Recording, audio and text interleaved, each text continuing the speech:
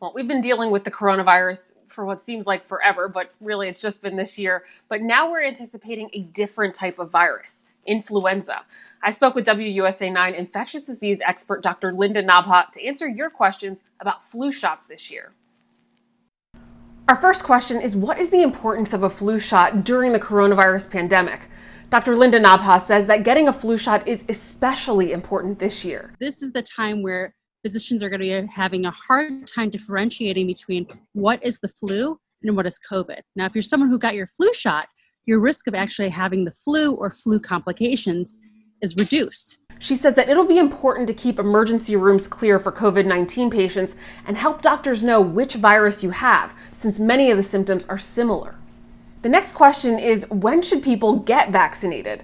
Dr. Nabha says as soon as possible and no later than October. She says the flu and other respiratory viruses pop up when the temperatures drop. Next up, does the flu shot increase your risk of getting COVID 19?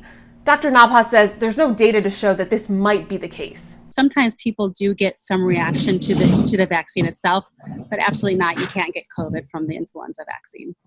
Finally, can you get the flu if you have COVID 19 or vice versa? The answer to this one is yes. The flu and COVID are two very different viruses.